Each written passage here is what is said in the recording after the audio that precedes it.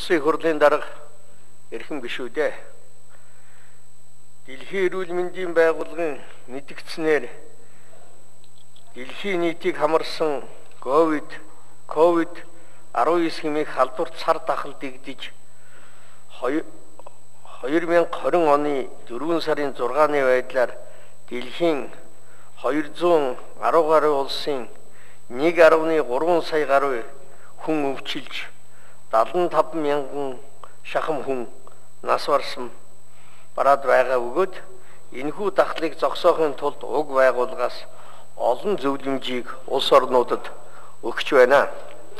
Эдгээр зөвлөмжийг Монгол улсын засгийн газар улсын онцгой байдлын комисс шуурхаа авч хэрэгжүүлж иргэдээ энэхүү халдварт цар тахлаас хамгаалж байгаа энэ цаг үед Монгол улсын их хурлын хаврын ээлжид чуулган хуралдах хуулийн хугацаа давхцаад өчигдөр бид нээлттэй хийсэн.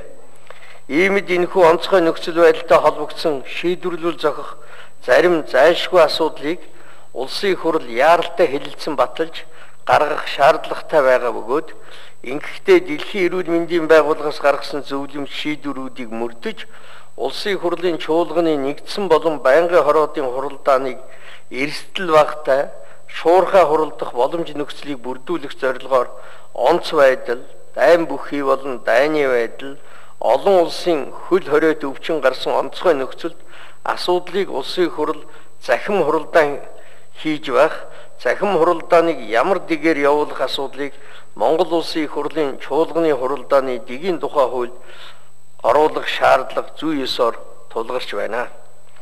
Учир нь ердийн нөхцөлд хууль тогтоолын төслийг улсын хурлаар хилцэн батлах бүхий л процессыг нарийн чанд хуульчлан өгсөн байдаг нь дээрх онцгой нөхцөл дагаж мөрдөхөд хүндрэл үүсгэхээр байна.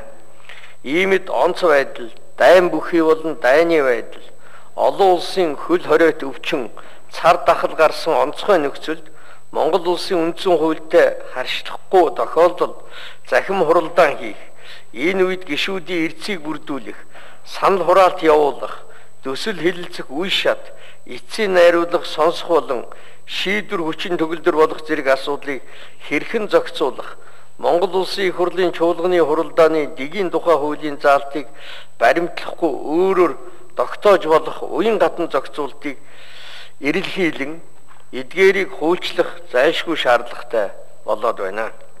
Хуулийн төсөл нь бүтцийн хувьд хоёр зүйлтэй өгөө төслийн Нэгдүгээр зүйлд онц байдал, дайн бүхий болон дайны байдал, олон улсын хөл хориот өвчин гарсан онцгой нөхцөлд улсын хурлын чуулганы нэгдсэн болон байнгын дид төр хорооны хуралдааныг захим хурлын програм ашиглан зохион байгуулах байгуулж асуудлыг хилцүүлж болох зохицуултыг хуульчлахаар төслийг боловсрууллаа.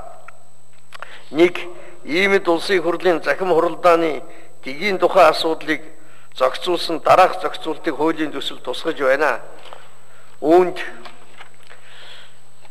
нэгдсэн болон байнгын дид төр хорооны хуралдааныг захим хурлын програм ашиглан зохион байгуулах. Уг програм нь улсын хурлын гишүүд ажлын гисгийн гишүүд нь байршлаас үл хамааран дүрсээ харан нэгэн зэрэг сонсож ярих боломжоор хангагдсан байх шаардлага тавих хуралдааны зарыг албан ёсны захим шуудан болон холбооны хэрэгслээр хэрэгсэл ашиглан улсын их хурлын гишүүнд мэдэгдэх.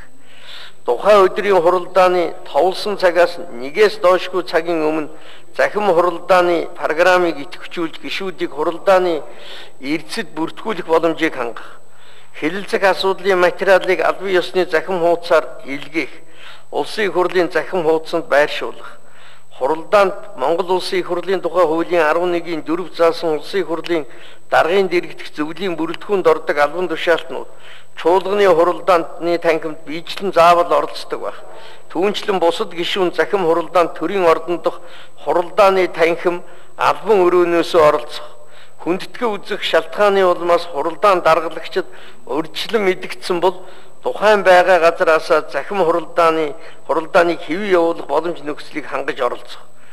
Хуралдаанд тухайн хилцэж байгаа асуудлыг босруулахад оролцсон ажлын хэсэг улсын хурлын тамгын газрын холбогдох ажилтнуудыг оролцуулах. Тухайн өдрийн хуралдаан эхлэхэд захим хурлын програм ашиглах ашиглаж хуралд оролцсон гишүүдийг хуралдаанд оролцсон хүрэлцэн ирснээр тооцож хуралдааны эрцийг бүртгэх. Хуралдааны эрцэд бүртгүүлсэн гишүүн тухайн хуралдаанаас албан ёсоор чөлөө аваагүй. Монгол улсын үндсэн хуулийн тодорхой заалтыг илтэж зөрчсөн асуудал хилцсэн гэж бүртгэлээс гарахаас гарахаа өөрөө мэдэгдэж захим хуралдааны хуралдаанаас гараагүй тохиолдолд түүнийг хуралдааны эрцэд тооцсон тухайн асуудлаар санал хураалтанд эсрэг санал өгсөн тооцох. Хуралдааны үед нам эвслийн бүлэг тухайн хилцэж байгаа асуудалтай холбогдуулан завсарлага авах хуралдаан даргалагч асуудлыг тухайн үеийн нөхцөл байдалтай уялдуулан завсарлагын хугацааг тогтоох. Улсын хурлын гишүүн хуралдаанд үг хэлж байр сууриа илэрхийлэх, тайлбар хийх, асуулт асуухтаа дараалд орж хуралдаан даргалагчийн зөвшөөрлөөр үг хэлж асуулт асуух.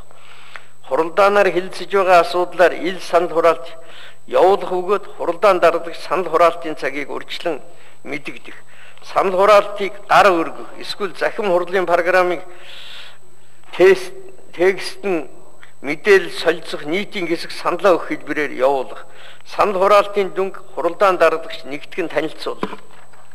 Хуралдаан хуралдааны дэг зөрчсөн болон захим хурлын программын мэдээлэл солилцох хэсэгт хилцэж байгаа асуудалтай холбогдолгүй үг бичих.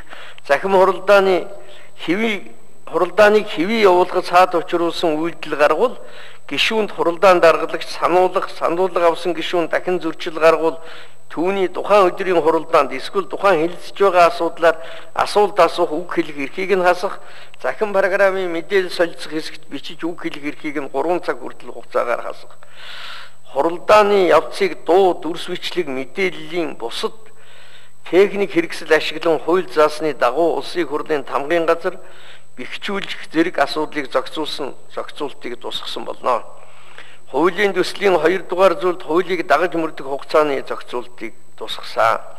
Хуулийн төсөл батлагдсанаар хүндэтгэн үзэх шалтгааны улмаас хуралдаанд биелэн оролцох боломжгүй боловч хилэлцэж байгаа асуудлын талаар саналаа бичгээр болон захим шуудангаар албан ёсоор илэрхийлсэн улсын хурлын гишүүнийг эрцэд бүртгэж санал хураалтанд оруулж тооцох боломж бүрдэх өгөөд ингэж эрд санал хураалтанд оролцсон гишүүний саналаа илэрхийлсэн талаарх баримтыг хилэлцсэн асуудлыг хувийн хэрэгт хавсаргаж баталгаажуулдаг болох юм а. Онцгой нөхцөл байдлын үед чуулганыг өөр газар хуралдуулж болох боломж бүрдэх өгөөд онц байдал, дайн бүхий болон дайны байдал олон улсын хөл хорой цээрийн өвчин гарсан нөхцөл байдлаас бусад үед уг дигээр асуудал шийдэгдэхгүй юм аа. Мөн энэ дигийг баривчих хэрэгжүүлэхдээ үндсэн дигээ бас давхар одоо зохицуултуудыг ашиглаж явах болно. Анхаарал тавьсанд баярлалаа.